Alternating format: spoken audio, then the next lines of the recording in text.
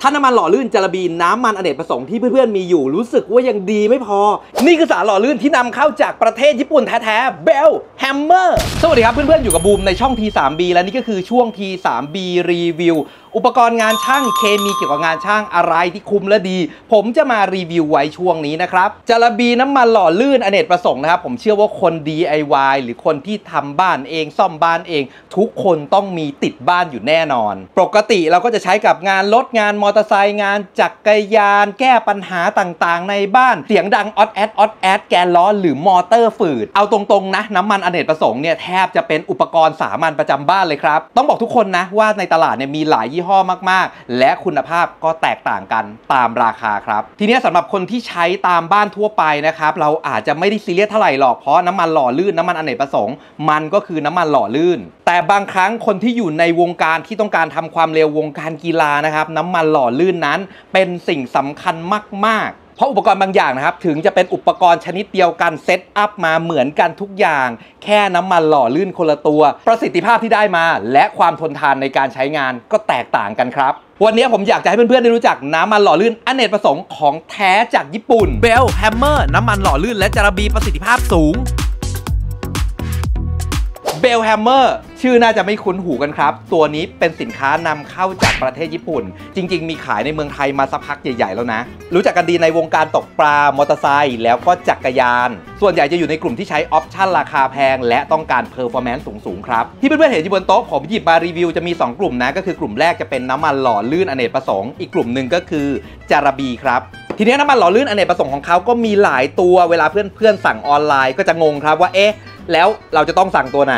มาดูที่ตัวนี้ก่อนเลยใช้ง่ายสุดอเนกประสงค์ของแทร่อยู่ในกระป๋องแบบนี้ก็คือ Bell Hammer สเปรย์เจ้า Bell Hammer สเปรย์เนี่ยออกแบบมาเป็นน้ำมันหล่อลื่นที่สามารถใช้งานอเนกประสงค์ได้หลากหลาย เรียกว่าสารพัดประโยชน์ครับ ถ้าอยากซื้อกระป๋องเดียวแล้วก็ใช้ได้หลาย ๆ อย่าง ซื้อเจ้าตัวนี้ได้เลย ติดบ้านติดรถ ใช้งานได้ทั่วไป ฉีดบานประตูบานพับต่าง ๆ เวลามีเสียง แกนพัดลมลูกปืนปั๊มน้ำทำความสะอาดคราบน้ำมันในห้องเครื่องรถยนต์ สามารถฉีดปกป้องเครื่องมือช่างอุปกรณ์ต่าง ๆ ไม่ให้เป็นสนิม แล้วก็เป็นสารหล่อลื่นในตัวครับอุปกรณ์กีฬาที่ต้องการความเร็วจักรยานสเก็ตบอร์ดเลอร์เบดใช้ได้หมดเลย กระป๋องฉีดแบบนี้เราจะเห็นว่าแบรนด์อื่นก็มี แต่อยากจะเน้นว่าประสิทธิภาพเขาสูงกว่าครับ ให้ดูหัวฉีดกันนิดนึง บอกเลยว่าหัวฉีดออกแบบมาให้เราใช้งานสะดวก เพราะว่าจะมีท่อแบบนี้เนาะขึ้นมาเลยนะครับ แล้วก็ตัวท่อเนี่ยต่อข้างในเลย ถ้าเราเห็นของแบรนด์อื่น มันจะเป็นท่อพลาสติกแล้วต้องมาเสียบใช่ไหมแล้วก็ชอบหาย อันนี้คือติดอยู่กับหัวสเปรย์เลย ไม่มีหายแน่นอน แล้วตัวฉีดนะครับก็อยู่ด้านในแบบนี้นะจะปกป้อง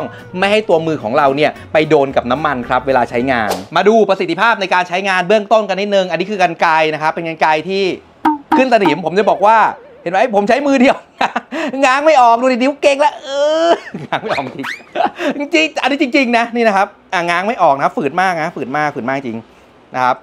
อันนี้คือเก่งจริงเลยนะ ไม่รู้จะทำยังไงให้เพื่อนๆรู้ว่ามันจริงอะอะเนี่ยนะครับดึงอย่างนี้เนาะทีนี้เดี๋ยวลองฉีดสเปรย์กันดู มันฝืดตรงไหนมันก็ฝืดแถวๆนี้แหละเราก็ฉีดลงไปนะครับใช้นิดเดียวเท่านั้นเอง ไม่ต้องใช้เยอะแพงเดี๋ยวเปลือง แล้วก็ขยับขยับเขาสักนิดนึงนะครับจะบอกว่าจากที่เมื่อกี้ที่แทบจะขยับไม่ได้เลยนะ ใช้มือเดียวไม่ได้เลยนะนี่เห็นไหม นะแล้วขยับไปสักพักหนึ่งนะเพราะตอนนี้มันฝืดอยู่นะครับเห็นไหมสนิมอยู่ข้างในถูกละลายออกมาทันที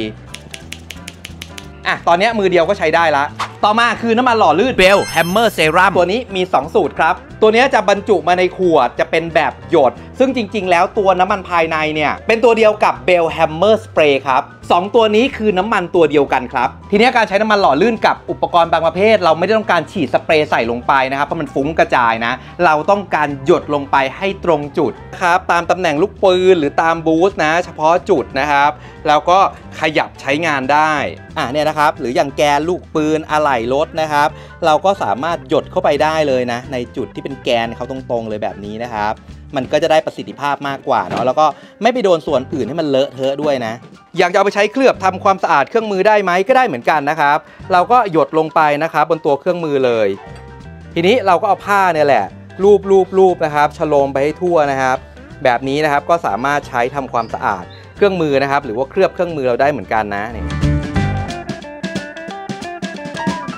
ทีนี้สำหรับเพื่อนๆที่เอาไปใช้กับอุปกรณ์กีฬาแบบ home use ที่บ้านใช้กับจักรยานหรือสเก็ตบอร์ด จริงๆ แล้วน้ำมันอเนกประสงค์ 2 ตัวนี้ก็เพียงพอครับ เลือกตัวใดตัวหนึ่งก็ได้นะ จะเป็นแบบสเปรย์ก็ได้ หรือเป็นแบบเซรั่มก็ได้ แต่ถ้าเกิดเพื่อนๆ เป็นนักกีฬาต้องการ performance สูงๆสำหรับการแข่งขันจักรยาน หรือต้องการความลื่นปื้ดลื่นปื้ดของสเก็ตบอร์ดอย่างเช่น longboard อยากให้ลองน้ำมันหล่อลื่น Bell Hammer Goldตัวนี้ครับเวลาซื้อดูขวดดูฉลากดีๆ ตัวนี้ฉลากสีดำตัวธรรมดานะครับ ตัวนี้ฉลากสีทอง ตัวพิเศษ ต่างกันยังไงตัวสีทองนะครับเขามีสูตรเพิ่มสารพิเศษปกป้องได้มากขึ้น ยืดอายุการใช้งานของสารหล่อลื่นได้นานขึ้น หมายความว่าถ้าเกิดเพื่อนๆ จะต้องหยอดสารหล่อลื่น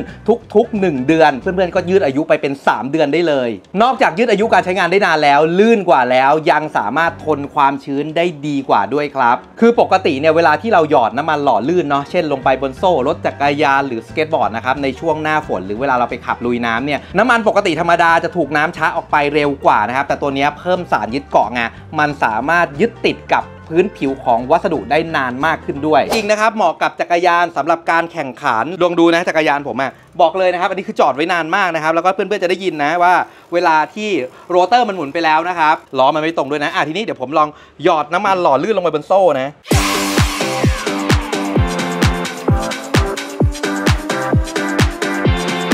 คือจะบอกว่าแม้ล้อนะครับแล้วก็ยางต่างๆ อุปกรณ์ต่างๆ นะ อยู่ในสภาพที่แบบแย่มากทุลักทุเลแล้วนะครับ แต่ว่าเพื่อนๆฟังเสียงสิเสียงมันต่างจากตอนที่เราเปิดคลิปวิดีโอตอนแรกมากๆเลยนะ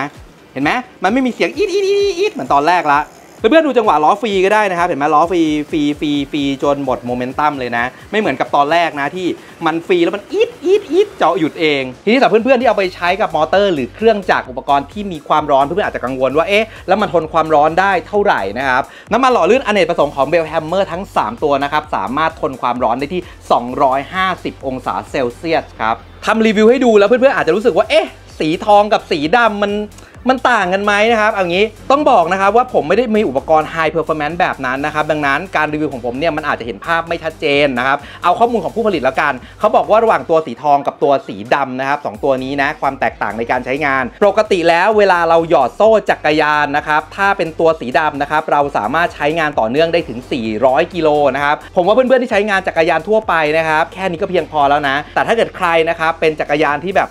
หต้องดูแลเป็นพิเศษอะตัวนี้นะครับประสิทธิภาพสูงกว่า และก็อายุการใช้งานนานกว่า เหมาะกับการขับจักรยานหน้าฝน หรือไตรกีฬามากๆ ตัวนี้ถ้าหยอดบนจักรยานสามารถใช้งานได้ยาวนานกว่า 1,000 กิโลเมตรอันนี้แล้วแต่นะครับเพื่อนๆลองเลือกใช้กันเองว่าอยากได้ตัวไหน ทีนี้ผมจะมาทดสอบประสิทธิภาพในการช้าล้างดูนะครับ อันแรกนะ ผมจะป้ายไว้นะครับเป็นเส้นแรกเลยนะ น้ำมันจักรนะครับ ยี่ห้อหนึ่งนะ ผมใช้เป็นเขียนไว้เป็นตัว A แล้วกันนะแบบนี้ ขวดที่ 2 นะครับ Bell Hammer นะครับ สีดำนะครับ เขียนไว้เป็นตัว B นี่นะอะเกลี่ยๆด้วยนะครับ ความหนามันจะได้เท่ากัน แล้วก็น้ำมันหล่อลื่นตัวที่3 Bell Hammer สีทองนะครับ ผมขีดไว้เป็นตัว C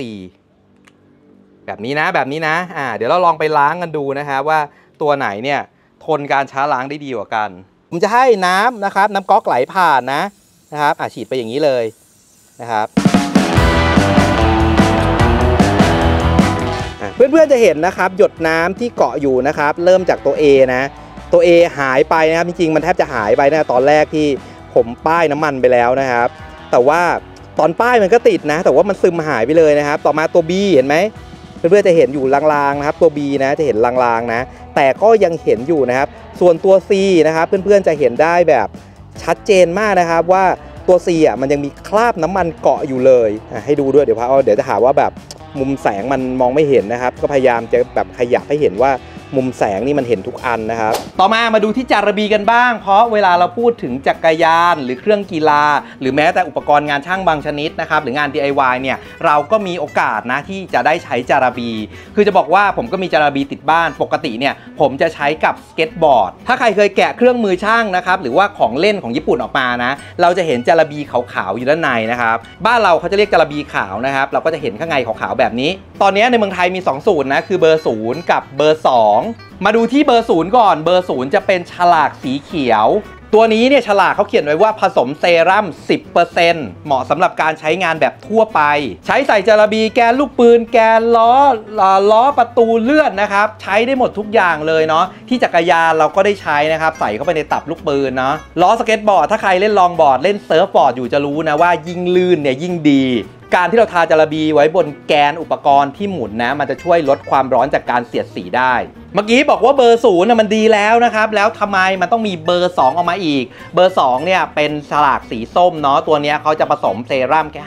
5%แล้วผสมเซรั่ม 5%เอามันน้อยลงมันก็ต้องลื่นน้อยลงใช่ไหมแต่ทุกคนรู้ไหมครับว่าอุปกรณ์บางอย่างเราไม่ต้องการความลื่นปื๊ดลื่นปื๊ดขนาดนั้น คือบางครั้งอุปกรณ์อย่างเช่น รอกตกปลาจริง ๆอะมันแล้วแต่ character นะครับว่าเราชอบแบบไหนนะสำหรับเรื่องของความหนืดนะบางคนน่ะต้องการให้อุปกรณ์ของเรามีความหนืดอยู่นิดๆนะครับดังนั้นนะครับเขาก็็เลยมีเบอร์ 2 ออกมาตอบโจทย์แบบนี้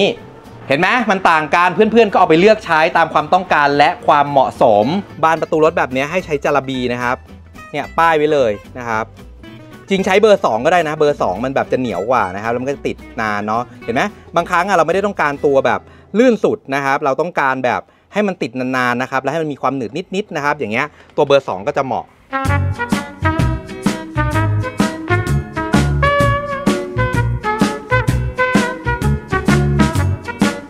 อยากได้ลื่นสีเขียว อยากได้หนืดนิดนึง สีส้มครับ แล้วเตือนกันนิดนึงนะ ผมกลัวเพื่อนๆเข้าใจผิดนะครับ ตัวนี้เป็นน้ำมันอเนกประสงค์ สามารถทำความสะอาดสนิมได้และปกป้อง ไม่ให้อุปกรณ์เกิดสนิม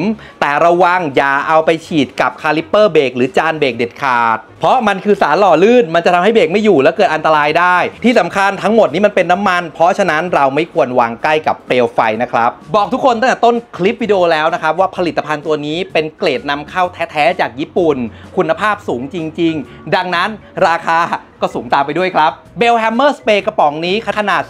420 ml ราคาอยู่ที่ 900 บาทครับ Bell Hammer เซรั่มฉลากสีดำ450 บาท ส่วนฉลากสีทอง High Performance อยู่ที่ 900 บาทจารบี 2 กระปุกนี้นะครับ ไม่ว่าจะเป็นเบอร์ 0 หรือเบอร์ 2 ก็ตาม ราคาอยู่ที่กระปุกละ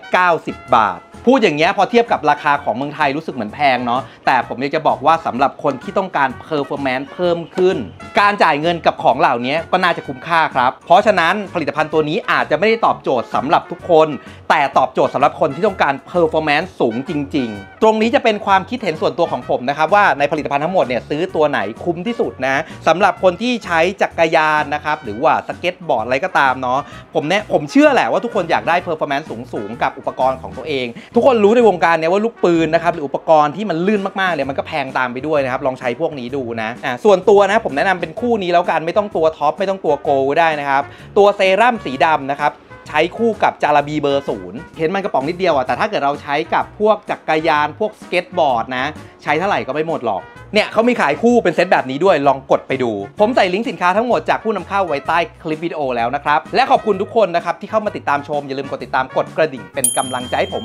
พาผมไปยอด 7 0 0 0 0 Subscribe อย่าลืมไปติดตามใน TikTok Line Official แล้วก็ Facebook Fanpage ด้วยนะครับ วันนี้ไปก่อนครับบ๊ายบายและอย่าลืมกดไลค์ไลค์ไลค์ แชร์กันไป แชร์กันไปให้ผมด้วย